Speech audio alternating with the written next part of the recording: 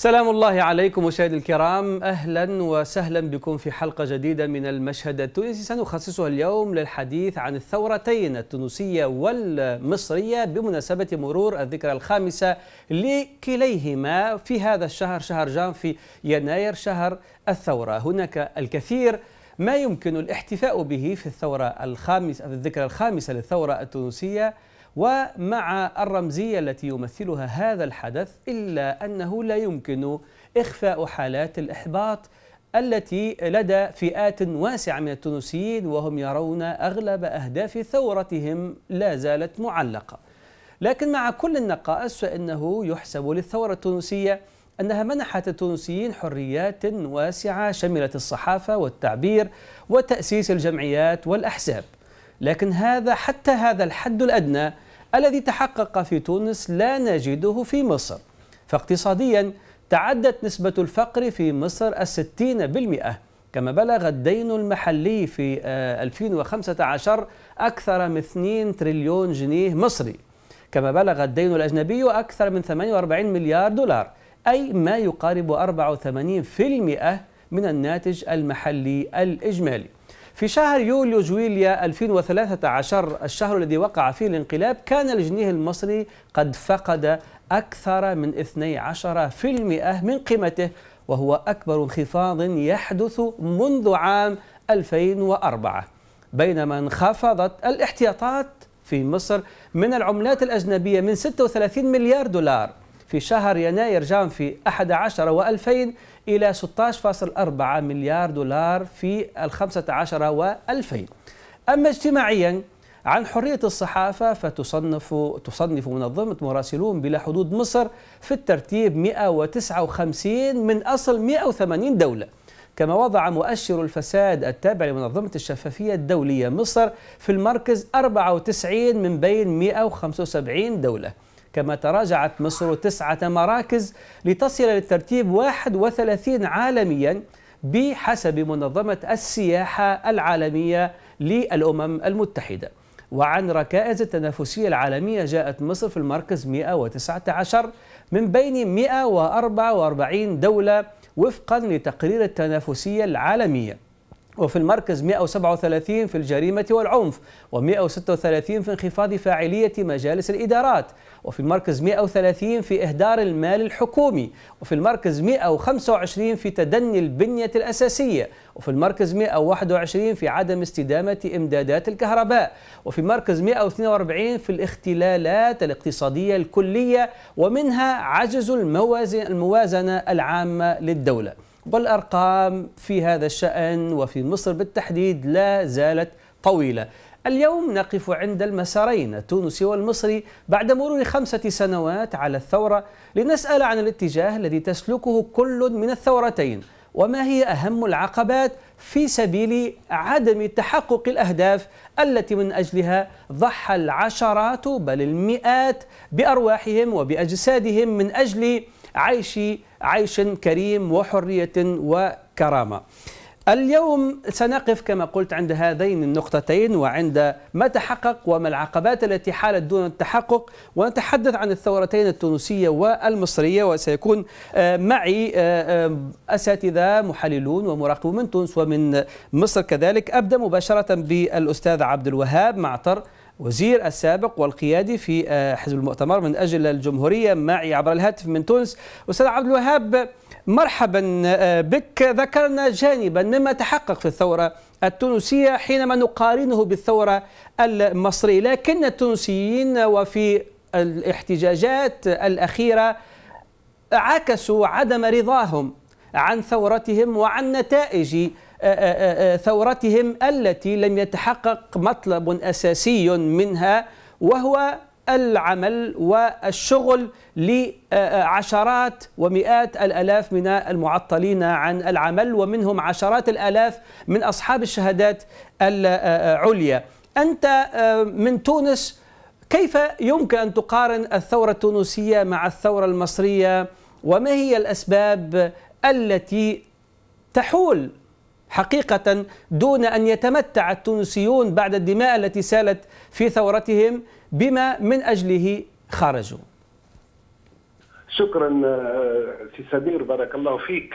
وأنك تواكب الأحداث والتقرير الذي كنت تنطق به منذ حين حقيقة معبر عن الوضع في الشقيقه مصر والذي أبدأ فقط أن أقول أن أي ثورة ثورة الربيع العربي ما هي كانت تطلعات الشعب كانت في العمق هي اولا ضمان ما يسمى الاستقلال القرار الوطني هي الحريات بمختلف فروعها وهي التنمية بمختلف مجالاتها حتى تصبح ندخل فيما يسمى التنمية الإندماجية بحيث أن كل الشعب يشارك في هذه التنمية. بالنسبة أجي نجي لتونس، أقول أن لو كان نقارن بين تونس ومصر نعم. نقول أن في هذه المجالات آه تقريبا آه لأن حجم مصر كبير هو بالنسبة للوضع في تونس وبالتالي آه آه الشيء الذي يتميز به إن شئنا المسار التونسي هو أننا حققنا ما قلت هو الركن الأول هو مسألة الحريات نعم. التي ذكرتها في تقريرك مشكورا وأصبحت تقريبا هذا هو الدرع تقريبا اللي حققناه حققنا دستور ديمقراطي حققنا يعني قانون أحزاب حققنا اليوم مجلس نواب الشعب يتناقش في مسألة تغيير المجال الجزائية في اتجاه منع خاصة القبضة الحديدية ومسألة الإيقافات العشوائية نعم. الاختطاف مسائل كل هذه هذه كلها تعطي ما يسمى الطمأنة للشعب. لكن هذا يتمتع بإن شئنا لو كان يعني تجاوزا نقول أن الشعب نقسمه نجد أن هذا يتمتع به خاصة في المدن والنخب وفئات الشأن المرفهة في المجتمع نعم. لأن الفئات المفقرة العاطلة عن العمل التي يعني لا تجد رزق يومها وفي مناطق خاصة في تونس عندنا البلاد مقسمة عموديا بين الساحل والداخل وعندنا اقتصاد نسميه اقتصاد المشاطئة إلى غير ذلك نعم. أن الداخل هذا هو الذي حقيقة لما قامت الثورة قامت بالأساس على هؤلاء وهؤلاء لم يطالبوا لم تكن يعني في مصدر نسمى في صدارة طلباتهم قضية الحريات كانت خاصة قضية التنمية نعم. والبطالة والحرمان والفقر هذا ما نسميه العمق الاجتماعي للثورة وهو هو في النهاية والصمام الأمان نعم. إذا كان لم نستطع أن نتقدم في المجال الاقتصادي الاجتماعي وندمج كل الفئات الشعبية وكل الطبقات في منظومة التنمية فإن كل المكاسب الاخرى تبقى مهدده نعم وفي هذا طيب. الإطار أنا أثمن عما قلت ان حتى في تونس ما حققناه شئنا في مجال الحريات الفردية والجماعية وممكن هذا شئنا يعني الانفراج السياسي الكبير هذا هذا واضح. مهدد لأنه نعم. لا يستطيع لا لا, لا يهم كل الشعب. طيب. هذا هو الميزة الوحيدة التي امتازت بها تونس. وليست بالقليل أستاذ عبد الوهاب ميزة وحيدة ولكنها ليست بالقليل لأن هي المدخل لكل أو لباقي الأهداف أهداف الثورة إن صح التعبير ساعد إليك أستاذ عبد الوهاب لمواصله هذا النقاش ورحب الآن. بانضمام الدكتور خورشيد خليفة ناشط السياسي المصري مع عبر خدمة سكايب من هنا في بريطانيا. الدكتور خرشد استمعت إلى الأستاذ عبد الوهاب معطر وهو يتحدث عن ما تحقق في الثورة التونسية وعلى رأس ما تحقق هو حرية التعبير حرية التجمع حرية تكوين الأحزاب حرية تكوين الجمعيات حرية النزول للشارع. ليس هناك قانون يمنع التظاهر في في في في تونس. فيما يتعلق بمصر نفس الشهر الذي قامت فيه الثورة التونسية قامت فيه الثورة المصرية وهو شهر جانفي أو يناير 11 و 2000 ما الذي تحقق بعد خمس سنوات في مصر اليوم بعد في ثورتها أو نتيجة هذه الثورة؟ طبعا بالنسبة للي حصل في مصر ومقارنة ما بين ما حدث في مصر وفي تونس ف في مصر كانت هناك أمال عريضة وكلنا لاحظنا في السنة أو السنتين الأولتين بعد الثورة وانتخابات لما كانت في انتخابات حقيقية وانتخابات حرة وفي فرصة للتعبير عن الاراء ووجدنا إنه الساحة السياسية كانت يعني متميزة في هذه الفترة السنة الأولى بعد الثورة وانتخابات مجلس الشعب وانتخابات الرئاسة والاستفتاء ثم الدستور. خمس استحقاقات نعم. يعني هذه الأشياء كلها كانت الشعب يعني كان ينعم في هذه الفترة بالإدلاء بالأصوات واختيار النواب والتعبير عن الآراء بكل حرية وبكل يعني كل ديمقراطية. نعم. وثم جاء انتخاب الرئيس الدكتور محمد مرسي الرئيس المنتخب الشرعي بإرادة حرة للشعب المصري.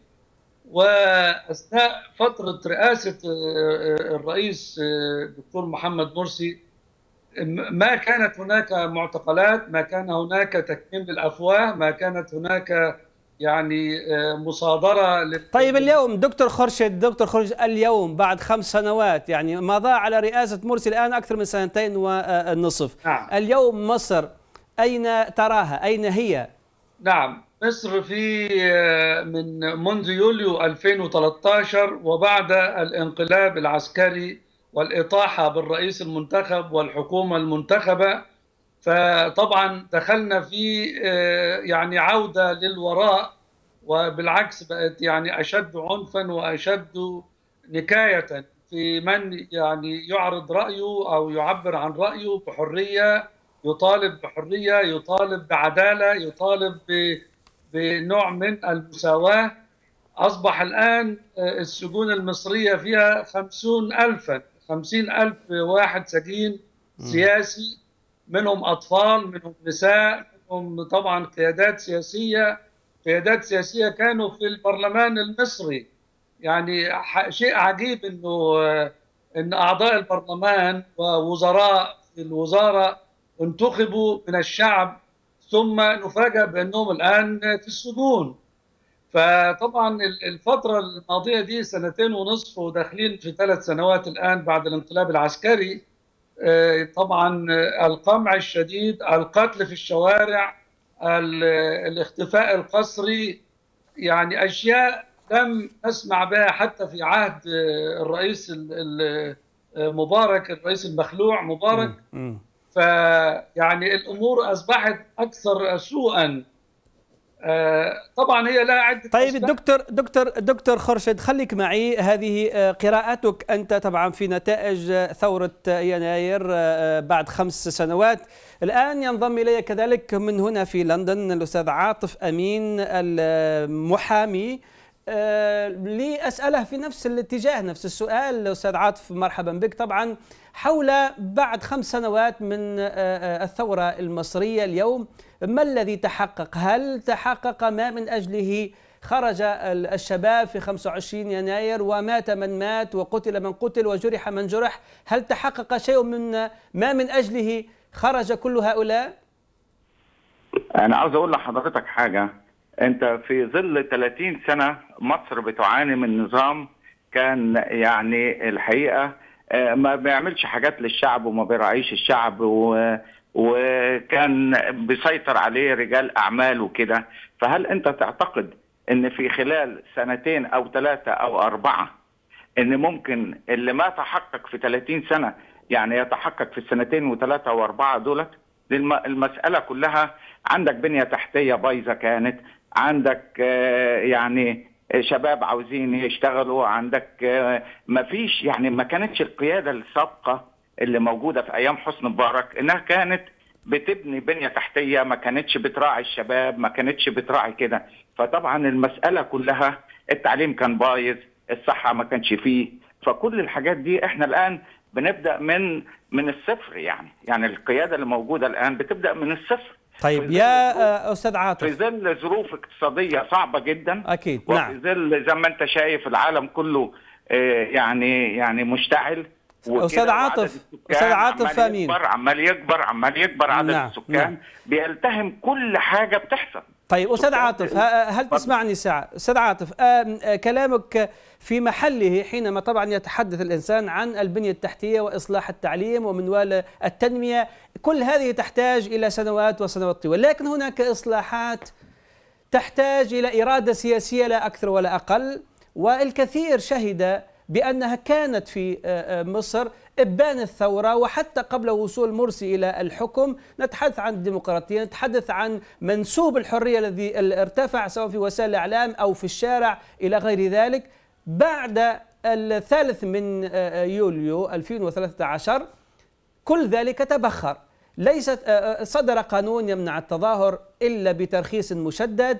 يعني شهد مصر تراجعا كبيرا في منسوب الحريات اللي على الأقل إلى حد الآن في تونس مثلا والحديث هو مقارنة بين الثورتين في تونس ما زال هناك منسوب ومنسوب مرتفع حتى إن صح التعبير من حرية التعبير وحرية الكلام وحرية التمظهر وحرية تأسيس الأحزاب إلى غير ذلك.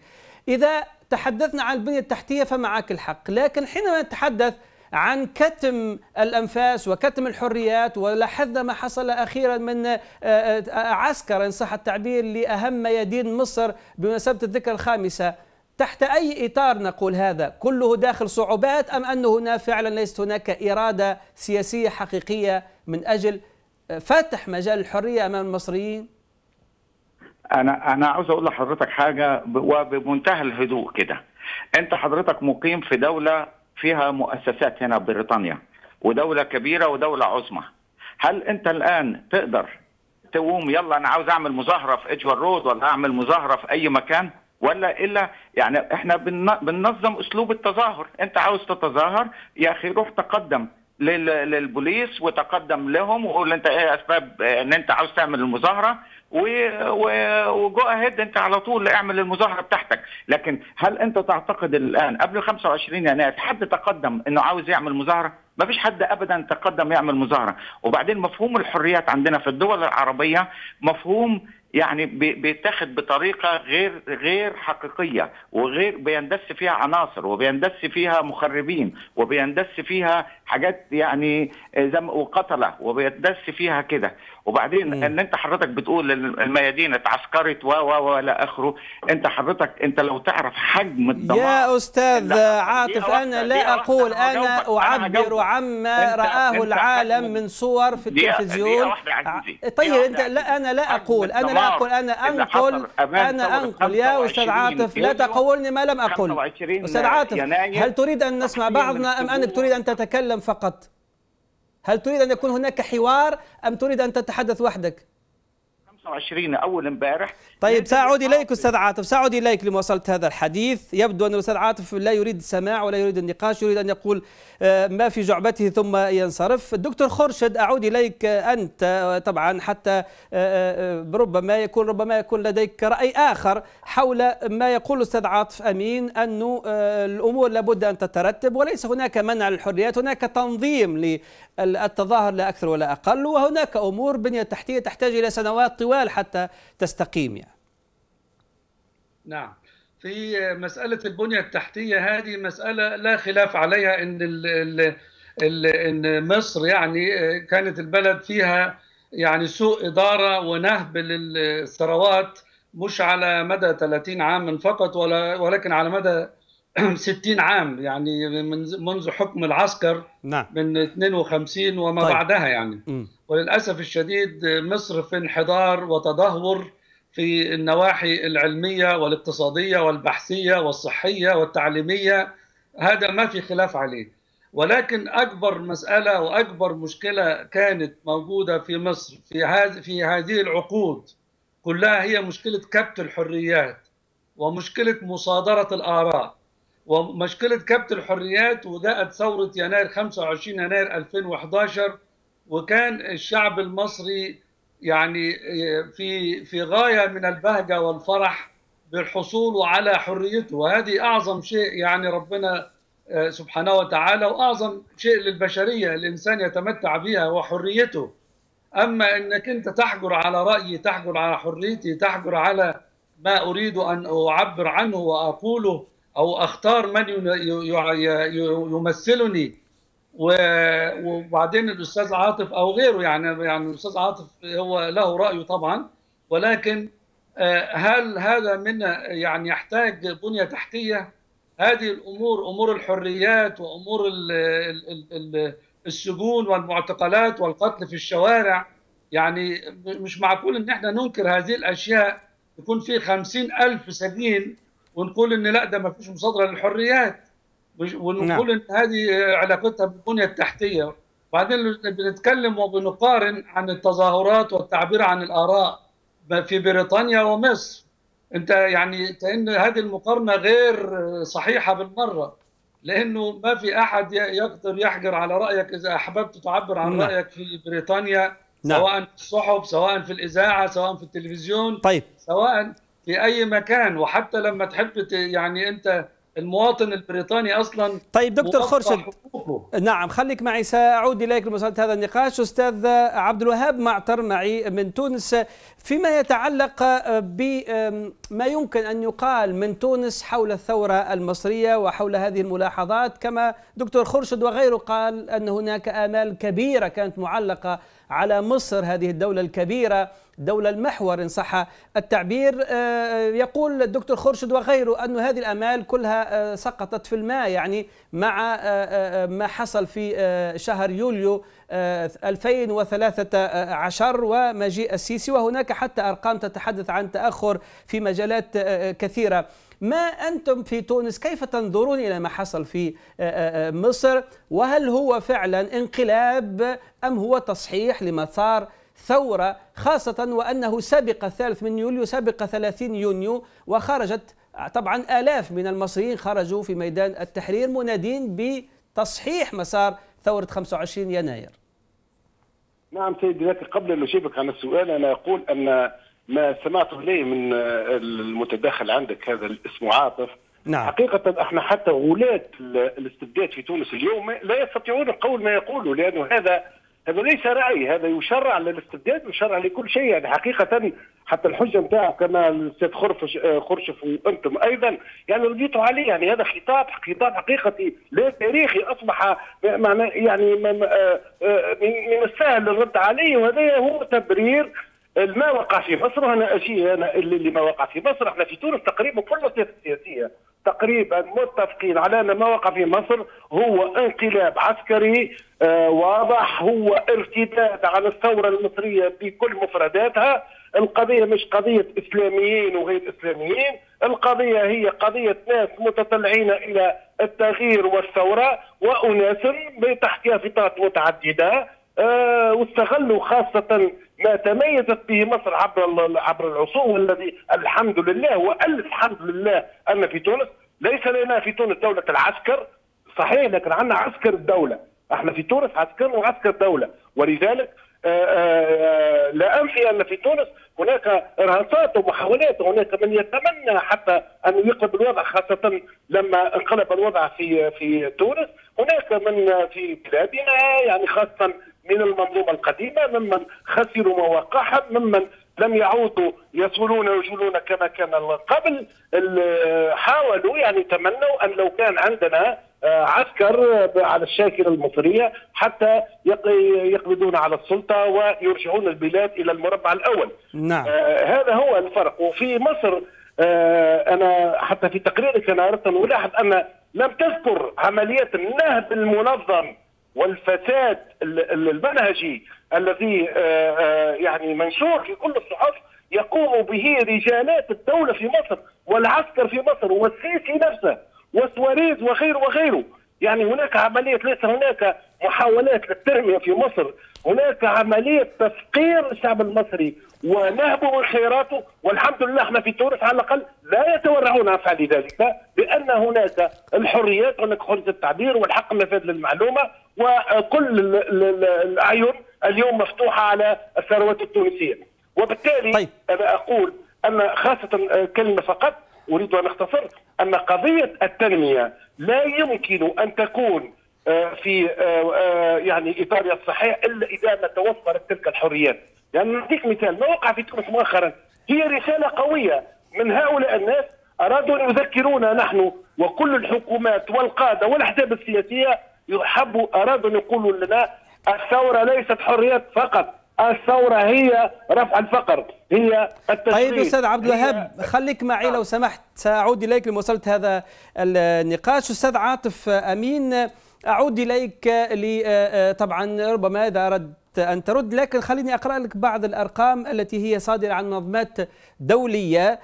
من مثل يعني الأرقام التي تتحدث عن انخفاض احتياطي مصر من العملة الأجنبية من 36 مليار دولار في في سنة 2011 إلى 16 مليار دولار فقط في 2015 كذلك في مستوى حرية الصحافة منظمة مراسلون بلا حدود تتحدث على أن مصر نزلت في الترتيب إلى 159 من بين 180 آه، آه، دولة. مؤشر الفساد التابع كذلك لمنظمة الشفافية الدولية يقول أن مصر في المركز 94 من بين 175 دولة والأرقام كثيرة. ما تعليقك على هذه الأرقام التي برزت منذ 2013 إلى اليوم يعني؟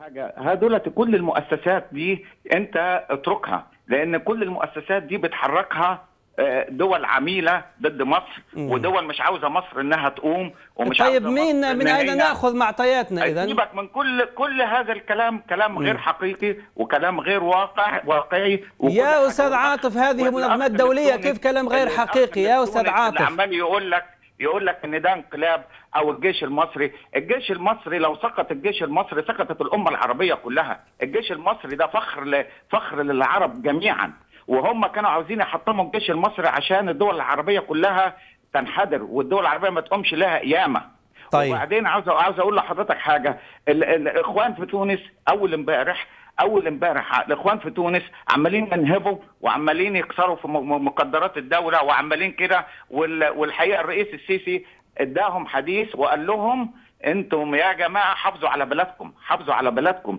لكن سيبك إن واحد يطلع أو ده لا يمثل الشعب التونسي ولا يمثل ولا ولا فاهم مقدرات الشعب إنها عمالة تروح وعمالة الشعب طيب يا أستاذ عاطف أستاذ عاطف اسمعني لو سمحت اسمعني يا أستاذ عاطف. أستاذ عاطف يا أستاذ عاطف. الشديد يا أستاذ عاطف يا أستاذ عاطف حاول تسمعني لو سمحت لأنه حوار هذا ليست له محاضرة ولا هي درس هذا حوار. تقول كلام أنا لابد أن أسأل عن بعض المحتويات في كلامك. أستاذ عاطف اذا الآن أعطيني يا سيدي ما الذي حصل لمصر منذ 2013 يوليو 2013 إلى اليوم ما الذي تحقق من أشياء إيجابية في مصر واحكي لي شوية أرقام كذلك كما ذكرت لك أنا أرقام. أنا تفضل. أنا أنا أنا مش أنا مش هحكي لك أرقام أنا هحكي لك حقائق. طيب احكي لي حقائق. حقائق. طيب. اولا قناة السويس الجديدة مم. اللي الشعب المصري التف حوالين الرئيس ودفع 74 64 مليار في في ظرف في ظرف يعني حوالي سبعة أيام في سبعة أيام جمع الشعب المصري. هل ده هل ده مش التفاف من كل الشعب المصري حوالين رئيسه؟ لما الآن العاصمة الجديدة بتتعمل العاصمة الجديدة القاهرة الجديدة عمالة تتعمل نعم. لما كل دول العالم بتيجي مصر عشان تستثمر فيها أو واسمه إيه ده رئيس الصين جاء مصر وقال إن أنا هستثمر معاكم. الإمارات عمالة تستثمر مع مصر. السعودية عمالة تستثمر مع مصر. يا جماعة يا جماعة انتبهوا. هناك مؤامرة كبيرة جدا على الدول العربية وهذه المؤامرة تبغى طيب. إن الشعب إن مصر نعم تنكسر. واضح. ومصر مش هتنكسر. واضح جدا. أستاذ خليك معي يا أستاذ عاطف أمين. سأعود إليك وأرحب الآن في الأثناء بالأستاذ أحمد الشرقاوي الصحفي والمتحدث باسم المجلس الثوري المصري معي من الدوحة عبر الهاتف. أستاذ أحمد مرحبا بك.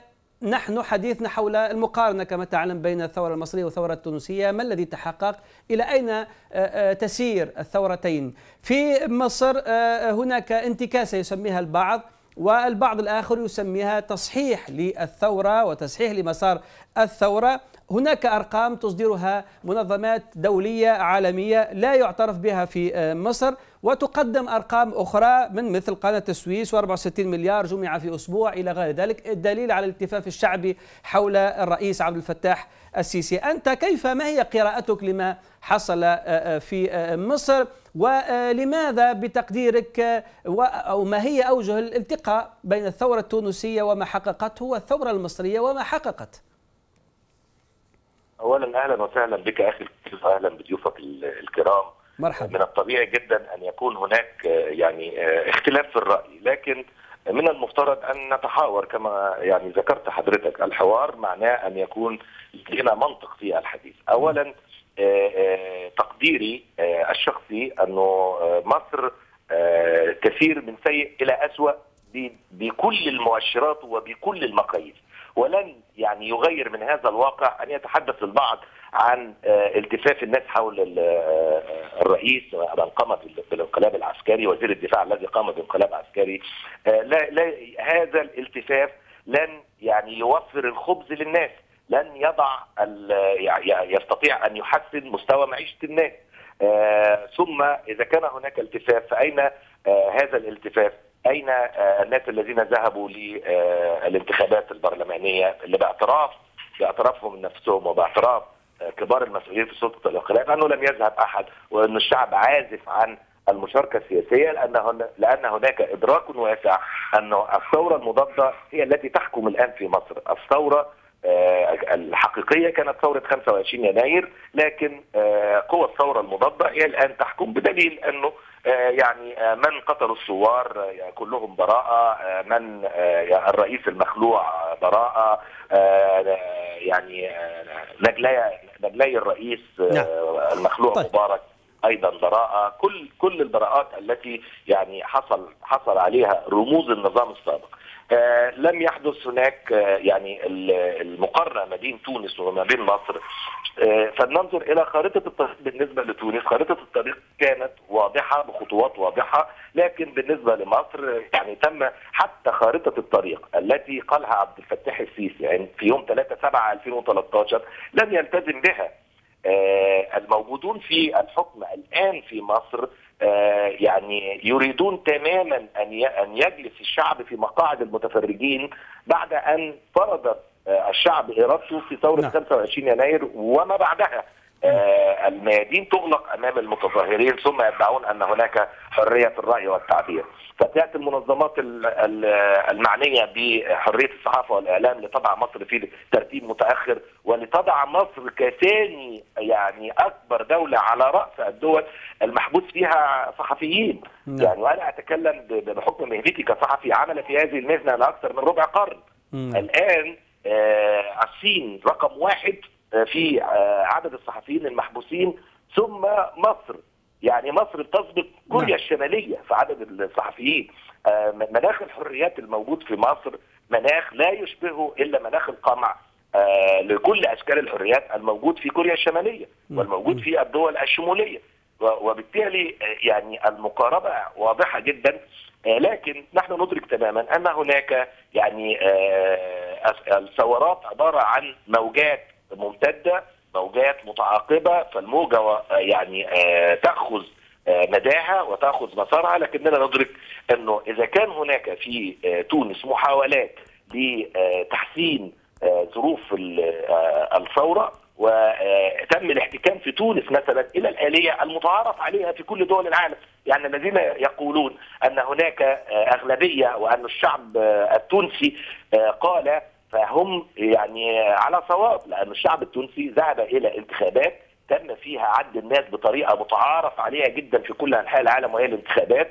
فأصبح هناك عدد المشاركين بنسبتهم ثم عدد من ايدوا مثلا الدكتور مرصف المرزوقي وعدد الذين ايدوا السيد باجي قائد السبسي نعم. وهذا ما لم يحدث في مصر واضح. عندما قام الانقلاب العسكري في 3 7 2013 نعم. قالوا لنا أن هناك مظاهرات خرج فيها 33 مليون والبعض طيب. قال 40 مليون والبعض قال نعم يعني نعم واضح. أستاذ أحمد لكن. لم, لم يخبرني أحد كيف قام باحصائهم وبعدهم نعم. أستاذ أحمد متعارف إنه الإحصاء والعد عن طريق الانتخابات. انتخابات المشاركه نعم أستاذ أحمد سأعود إليك. خليك معي لو سمحت. دكتور خورشيد خليفة بتقديرك ما الذي تحقق في تونس بعد خمس سنوات وكنتم ترغبون تودون أن يتحقق مثله على الأقل في مصر بعد خمس سنوات وبعد طبعا تلك أولئك الشهداء والجرحى الذين سقطوا خلال ثورة 25 يناير.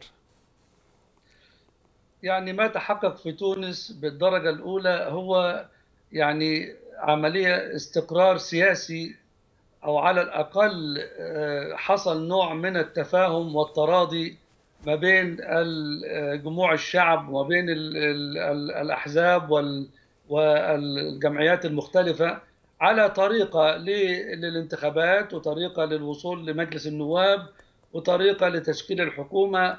والأمر اللي هو يعني خطوة جيدة في طريق الديمقراطية. وهذا ما نحن نتمناه في مصر.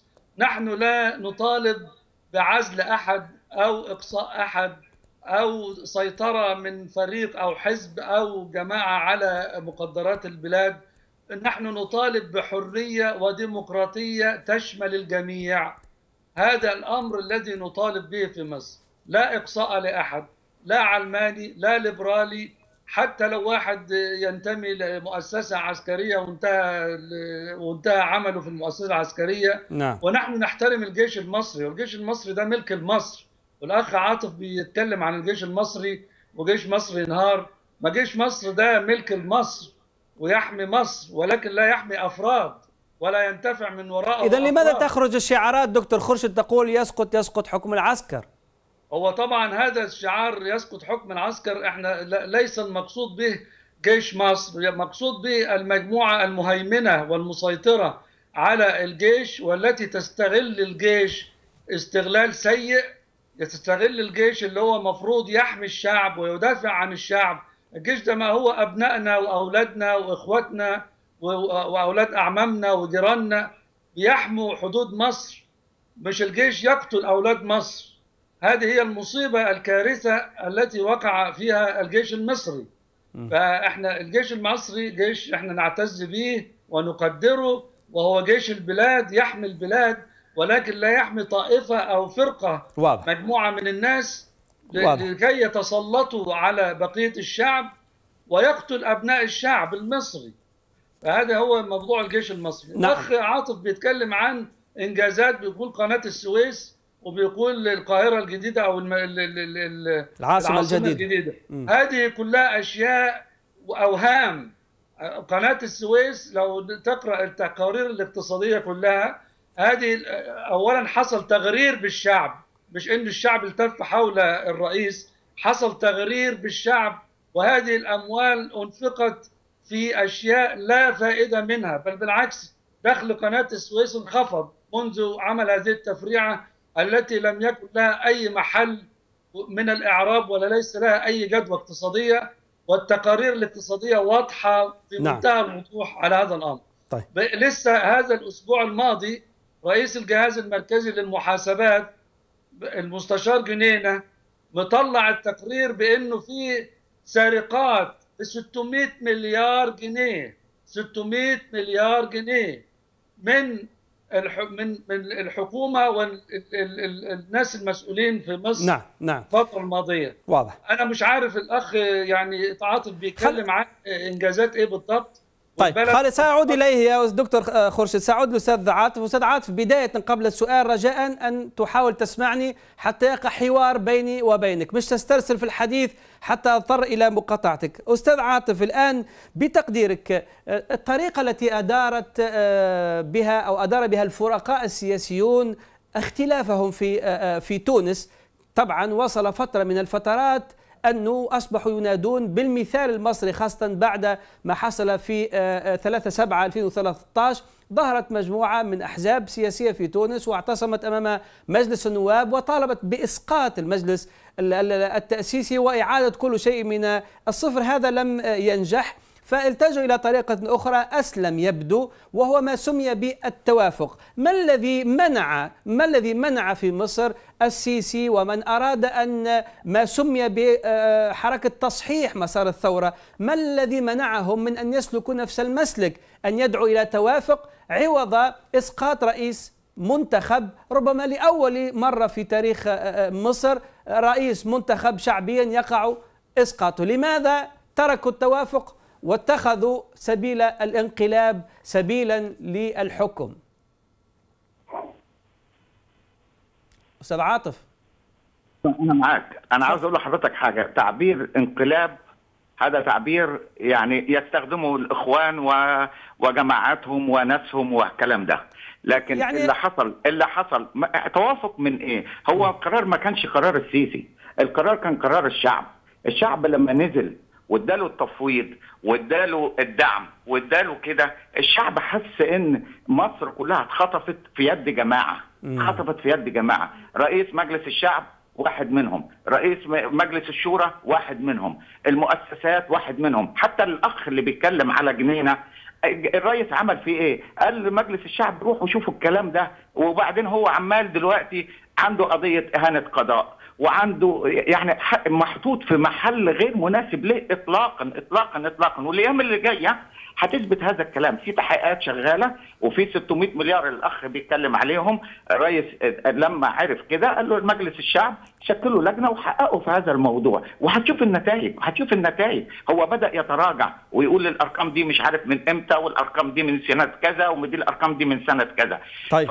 فالجيش والرئيس إن كلهم أستاذ عاطف سيد عاطف هل لم يكن يا أستاذ عاطف؟ دقيقة واحدة دقيقة واحدة. حضرتك تقول بعض الاف أنت مش شفت ملايين ملايين 30 6 و3 7 يا رجل هو المكان يستحمل ملايين مدينه التحرير يستحمل ملايين يعني. ملايين ملايين ملايين. يا رجل خرجت الصور الآن تقول أنها كانت مفبركة الآن الصور خرجت يا أستاذ عاطف. هيتوافق مع مين؟ هيتوافق مع القتله؟ هيتوافق مع مين؟ طيب. الشعب مش عاوزهم. النهارده طيب, طيب هذا رأيك يبقى في كل حالات؟ أنا هقول لحضرتك حاجة. نعم. النهارده حتى الشعب يعني يعني الحكومة لو سابت الشعب على الإخوان هم كفيلين بيهم. الحكومة هتبقى بره. الحكومة بره. الشعب عرف. لما واحد واحد أبو واحد يطلع في المح... في, ال... في احتفال الشرطة أول امبارح ويقول عندي ثلاث أبناء ماتوا. طيب يا أستاذ عاطف سيد عاطف أستاذ عاطف أستاذ عاطف اسمعني لو سمحت. من القتلة دول طيب سيد عاطف اسمعني لو سمحت اسمعني.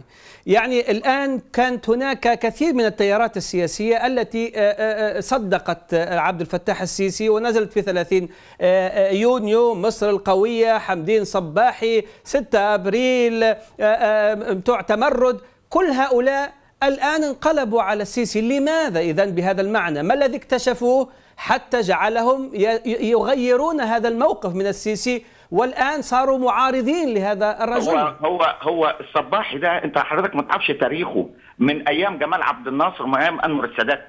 ما حضرتك اطلع على تاريخه من أيام جمال عبد الناصر طيب وس...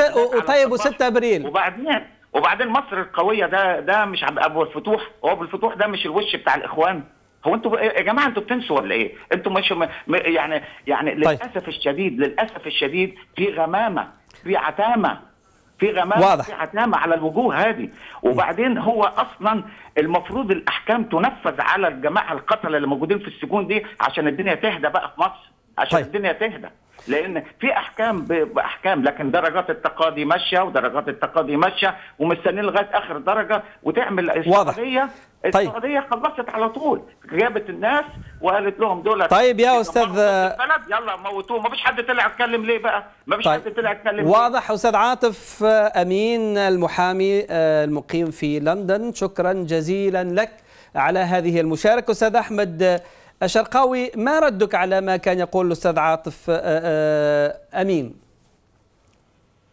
هذا محامي هذا محامي هذا. أستاذ أحمد أستاذ أحمد الشرقاوي أستاذ أحمد الشرقاوي ما تعليقك على كلام عاطف أمين؟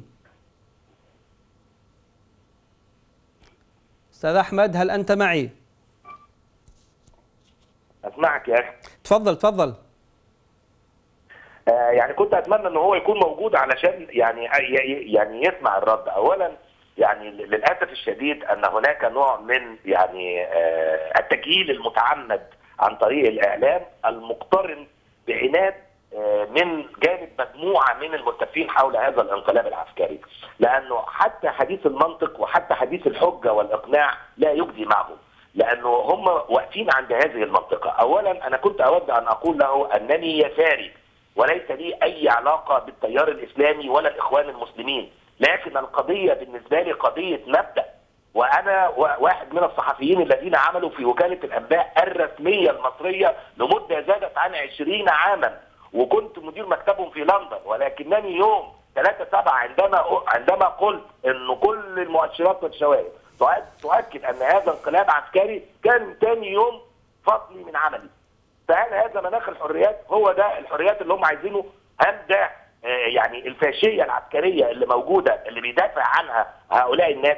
اهو هي دي الإنجازات. مفيش نظام عسكري واضح. يا سادة في العالم في العالم كله استطاع أن يحسن مستوى معيشة الناس. هاتوا لنا نظام فاشي كده في الدنيا كلها في تجارب العالم كله استطاع أن يقدم تجربة تنمويه واضح جدا. نعم. لما الأخ لما الأخ يتكلم عن قناة السويس أتفق مع الدكتور في أنها ليس لها أي جدوى اقتصادية لكن لها جدوى علمية مهمة جدا لأنها تمثل مانعا مائيا ثانيا لا يمكن للجيش المصري ولا الشعب المصري أن يعبره إذا زي ما عبر مانع مائي واحد في خط برلين في حرب 73 نعم. فالسيسي جاء ليضع مانعا آخر جديدا ليس له أي جدوى اقتصادية ليحقق أمن إسرائيل. هو ده ده المنطق واضح جدا. من يدافعون عن النظام يتكلموا فيه. شكرا شكرا أستاذ أحمد الشرقاوي الكاتب الصحفي والمتحدث باسم المجلس الثوري المصري. شكرا جزيلا لك أستاذ عبد الوهاب. معتر أختم معك الآن اذا ما المطلوب فعله فيما يتعلق بالثورة التونسية والمصرية من أجل تحقيق اهدافه أهدافهما؟ سيدي الكريم بالنسبة للثورة المصرية أنا أوافق على أن مصر هي أم الدنيا وأن حقيقة مسألة إنقاذ مصر من براثن حكم العسكر هذا يعني هي مهمة قومية بالنسبة لكل العرب لكل الربيع العربي. إحنا لما لو يتغير الوضع في مصر لأن يا أخي في مصر أنا ألخص مع الفارق في الزمن وفي الآليات في الملابسات ما وقع ما فعله السيسي هو بالضبط ما فعله بينوشي في في الأرجنتين في سنة 71 ضد الاندي يعني حقيقة هذا هو ما وقع. هو حكم بينوشي القتال الذي معناتها ارتكب جرائم. لم يقل للأخوة المصريين أن هناك أكثر من 700 قتيل مصري. قتيل بالرصاص وبال وبالكاسحات وبغير ذلك. ونحن نتذكر الرابعة التي من قلوب إلى غير ذلك. يا نعم. أخي ما يقع في مصر هو خروج على التاريخ. نعم. على كل الشعب و... المصري قوي. وهو يمشي في مسار التاريخ ومسار التاريخ سيعطي الأمل لهذا الشعب المقهور اليوم. واضح. شكرا شكرا.